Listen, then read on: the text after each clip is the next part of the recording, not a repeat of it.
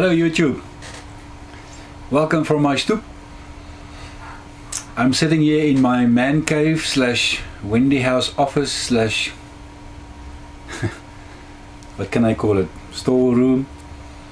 Uh, this is also the same room or office or place where I did my very first video. Um, so I'm sitting here today as I've got some things to do. Uh, but I thought I just wanted to to give a quick reply on some of the questions that uh, that I received.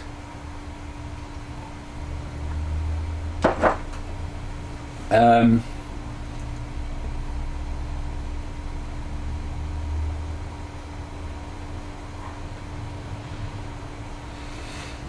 uh, Benjamin Quasada asked on the videos um, on the previous video why do I number my tobacco? I've got no idea. Um, I think well how it happened was uh, on tobaccocellar.com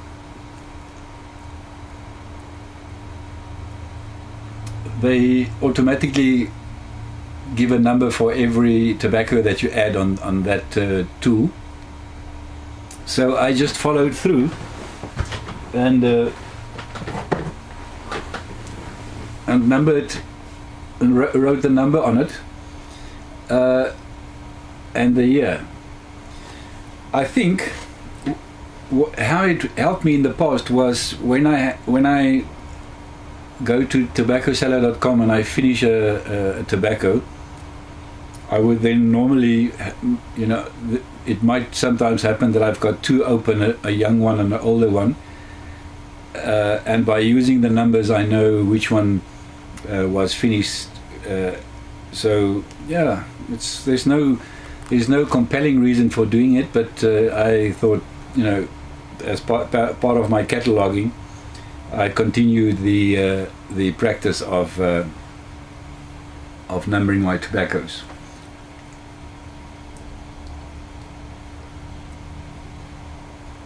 And then uh, I had another question from uh, Sergeant Death, Deathstroke.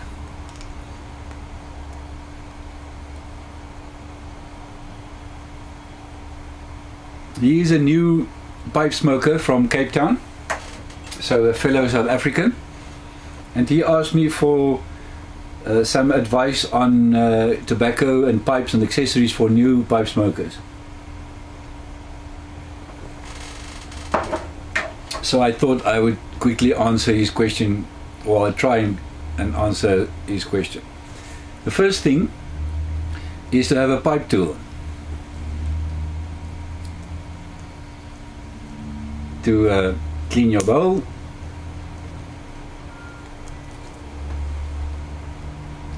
A little knife to clean the uh, carbon layer or from time to time and uh, and a flat part for tamping.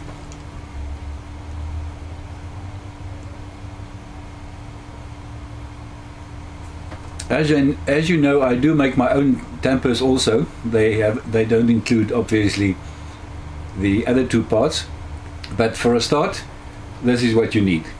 Secondly,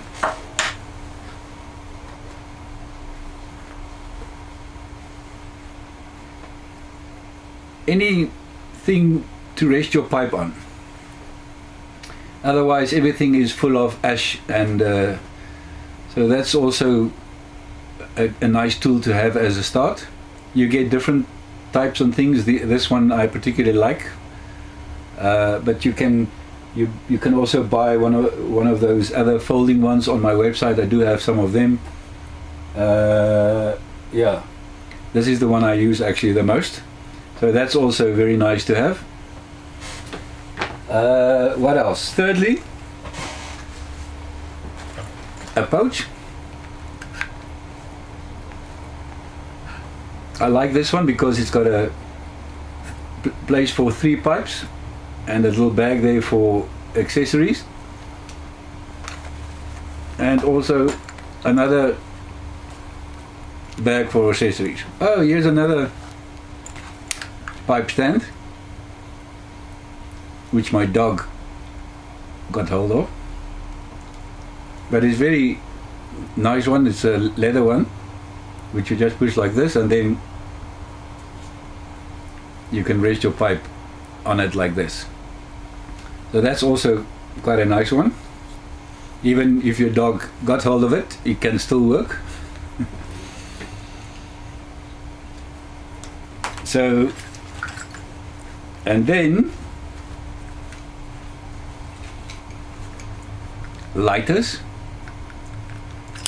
Obviously, I like Zippo. So lighters is also another necessary tool. Um, and then in terms of, of pipes, um, I've got here two uh, I've got here two pipes which I think is actually very nice for beginners. The one is a Savinelli Primo uh, Prima Furo, which means in in in uh, Italian, I think, uh, first smoke. It's not too expensive. You can get them from Wesley's, uh, but they it's a very nice pipe. I like this one. Um, and then Pipes and Kayaks has gifted me this one recently. You will, you will remember from my Yabo. It's also a fairly uh, uh, decent price for a beginner. They call it uh, Savinelli 1 which is for you know begin, beginning sm- beginners smokers. Very nice, smokes very nice, uh, and it's also not too expensive for beginning uh, when you start to begin smoke. Um, of course, there's also uh, uh Kaiser, which is very popular and available in South Africa. I know a lot of people doesn't like uh, Kaiser that much, but I must tell you, uh, I've got three of them, and uh, I've they they smoke perfectly well, and they're very uh, rigid. They can take quite a hammering, so they also not a bad choice for a for a beginner. I would not go for the very cheap pipes like no I, I'm, I don't want to mention the names but uh, you do get very cheap starter starter pipes and uh, my personal opinion is if you if you buy a cheap pipe because you're not sure whether you're going to like it or not the chances you're not going to like it because the pipe plays a role in in in the smoking exercise and experience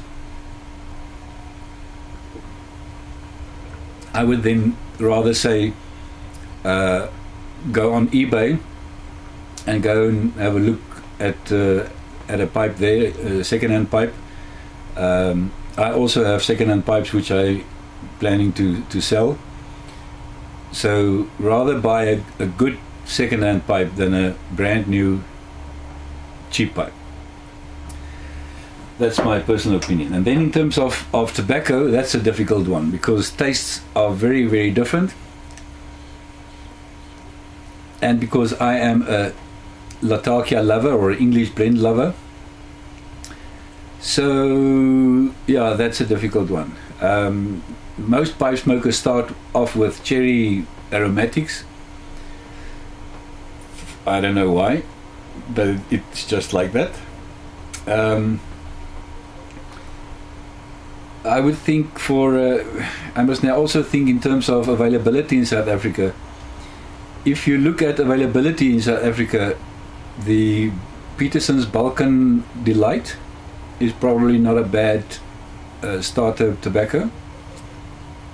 Um, and also maybe any of the house blends, especially in Cape Town, there's a, a shop uh, just close to the Green Market Square where you can buy a house blend, a Balkan or English house blend, which is fairly good. Uh, and then the I'm not sure whether a new pipe smoker will will like uh, uh, Old Dublin from Peterson's, but they are, are, are also fairly available in South Africa.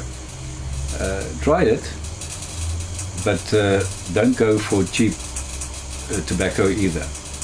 Um, I must say it's a it's a problem in terms of availability in South Africa.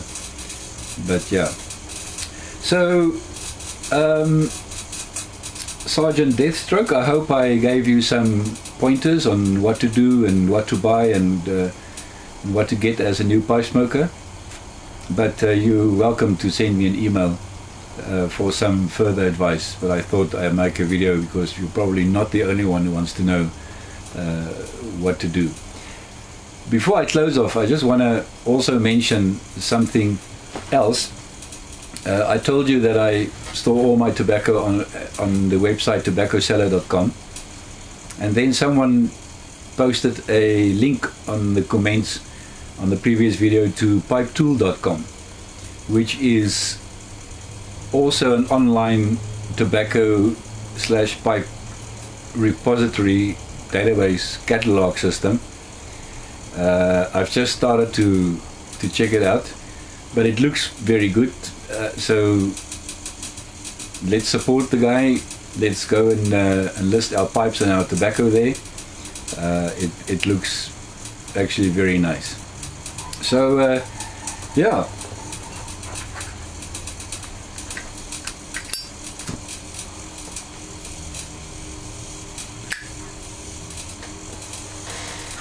On that note, then, uh, friends,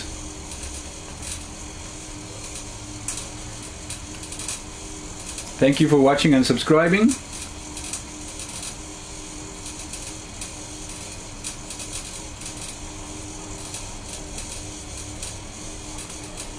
and uh, enjoy your your pipe smoking. Uh, please leave your comments, and as I said, please uh, also subscribe. I love all the questions and uh, this community and this hobby.